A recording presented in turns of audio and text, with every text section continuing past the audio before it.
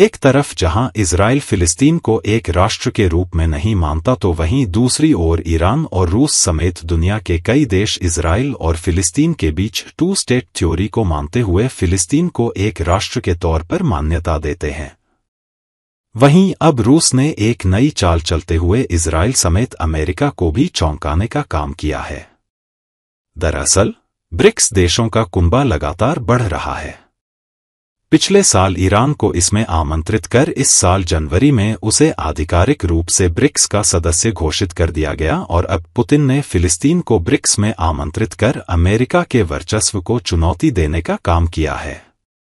आपको बता दें कि ब्रिक्स को पश्चिमी इकोनॉमिक और पॉलिटिकल वर्चस्व के विकल्प के रूप में देखा जाता है और रूसी राष्ट्रपति व्लादिमीर पुतिन ने फिलिस्तीन को ब्रिक्स में शामिल होने का आमंत्रण देकर अमेरिका को एक और गहरी चोट दे दी है।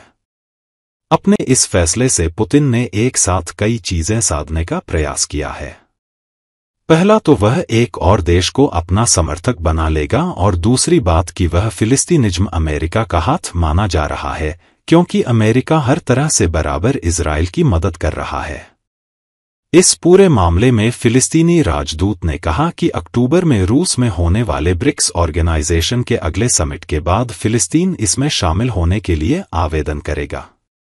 फिलिस्तीनी राजदूत ने कहा कि हम शिखर सम्मेलन के बाद इस संगठन में शामिल होने के लिए आवेदन भेजेंगे, जो 22 से 24 अक्टूबर तक रूस में आयोजित होने वाला है।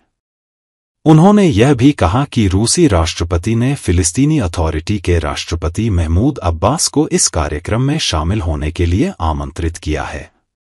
उन्होंने इस निमंत्रण को सकारात्मक संदेश और फिलिस्तीनी लोगों के समर्थन का प्रतीक बताया। राजदूत ने कहा कि पुतिन ने वादा किया कि शिखर सम्मेलन में फिलिस्तीन के मुद्दे पर एक पूरा सत्र समर्पित किया जाएगा। उन्होंने कहा कि हमें इस शिखर सम्मेलन से काफ़ी सकारात्मक उम्मीदें हैं। आपको बता दें कि ब्रिक्स में ब्राज़ील, रूस, भारत, चीन, दक्षिण अफ्रीका, ईरान, मिस्र, इथियोपिया और संयुक्त अरब अमीरात शामिल हैं। इस संगठन और इसके विदेश मंत्रियों ने कई मौकों पर इसराइल के अत्याचार के खिलाफ फिलिस्तीन के शामिल होने से फिलिस्तीन को ज़्यादा बड़े पैमाने पर राजनीतिक समर्थन भी मिल जाएगा। रूस और अमेरिका एक दूसरे से ताकतवर बनने की होड़ में लगे हुए हैं, लेकिन यह आने वाला समय बताएगा कि कौन आगे निकल पाया है। एक तरफ़ अमेरिका नेपथ्य में रहकर अपने हित को साध रहा है तो दूसरी तरफ़ रूस भी कमतर नहीं है, जो रणनीति के साथ साथ कूटनीति का भी बखूबी इस्तेमाल कर रहा है। ब्रिक्स ब्रिक्स का भविष्य कई महत्वपूर्ण कारकों पर निर्भर करता है जो इस संगठन की स्थिरता और प्रभावशीलता को आकार देंगे। निम्नलिखित बिंदुओं पर विचार किया जा सकता है। विस्तार और सदस्यता। ब्रिक्स ने हाल ही में नए सदस्यों को शामिल किया है, जैसे कि ईरान और संभावित रूप से अन्य देश भी जोड़ सकता है। यह विस्तार संगठन की वैश्विक उपस्थिति और प्रभाव को बढ़ा सकता है। हालाँकि नए सदस्यों के शामिल होने से आंतरिक मतभेद और नीति की समन्वय की चुनौतियाँ भी बढ़ सकती हैं। आर्थिक सहयोग, ब्रिक्स के सदस्य देश विभिन्न आर्थिक और विकासात्मक मुद्दों पर सहयोग करते हैं। इन देशों की अर्थव्यवस्थाओं की स्थिति और विकास दर संगठन की आर्थिक शक्ति को प्रभावित कर सकती है। आर्थिक सहयोग और निवेश के अवसर ब्रिक्स की प्रभावशीलता को बढ़ा सकते हैं।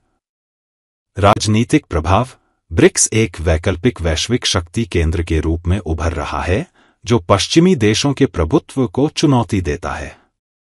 सदस्य देशों के बीच राजनीतिक मतभेद और अंतर्राष्ट्रीय संबंध इस संगठन की सामूहिक शक्ति को प्रभावित कर सकते हैं। सुरक्षा और रणनीतिक हित। ब्रिक्स सदस्य देशों के बीच सुरक्षा और रणनीतिक सहयोग भी महत्वपूर्ण है।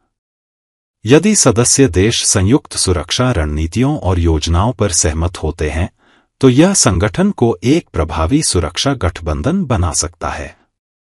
अंतर्राष्ट्रीय समर्थन और भागीदारी। ब्रिक्स का भविष्य उसके अंतर्राष्ट्रीय सहयोग और भागीदारी पर निर्भर करता है। यदि ब्रिक्स अन्य देशों और संगठनों के साथ मज़बूत साझेदारी और सहयोग कायम करता है तो यह संगठन वैश्विक मंच पर अधिक प्रभावी हो सकता है। आंतरिक स्थिरता और विवाद। ब्रिक्स के सदस्य देशों के बीच आंतरिक स्थिरता और विवाद भी संगठन के भविष्य को प्रभावित कर सकते हैं। सामंजस्यपूर्ण और समन्वित दृष्टिकोण से संगठन की प्रभावशीलता और स्थिरता को बनाए रखा जा सकता है।